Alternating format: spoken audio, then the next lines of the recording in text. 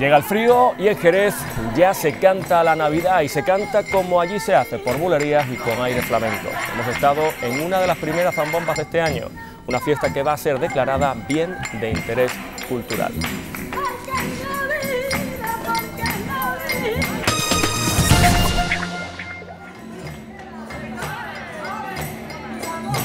Esta es una de las zambombas que se celebran en Jerez cuando llega la Navidad. El reflejo de lo antiguo, el eco navideño que se vivía en los patios de vecinos. Habrá más de 200 por todo el término municipal antes de que acabe el año.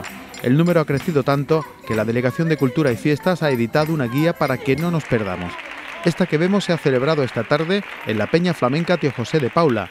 La ha organizado el Centro Andaluz de Flamenco, que también tiene sede en Jerez, para que la consejera de Cultura anuncie que esta fiesta navideña será considerada bien de interés cultural. Ya hemos encargado a un equipo que a lo largo del año 2010 va a trabajar en poner en pie todo el expediente que trabaje para declarar como bien de interés cultural la zambomba de Jerez. Y si quieren ver una zambomba, en los próximos días se va a celebrar la del Cristo de la Inspiración. Será este viernes en la Plaza del Cristo de Jerez.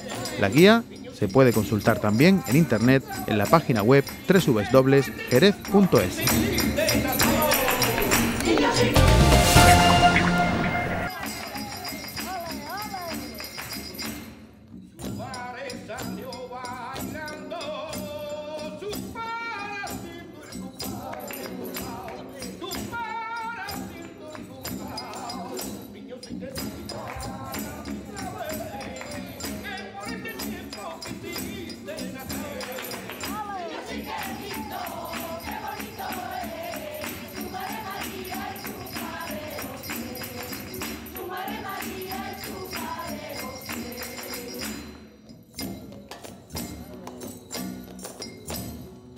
como la noceta.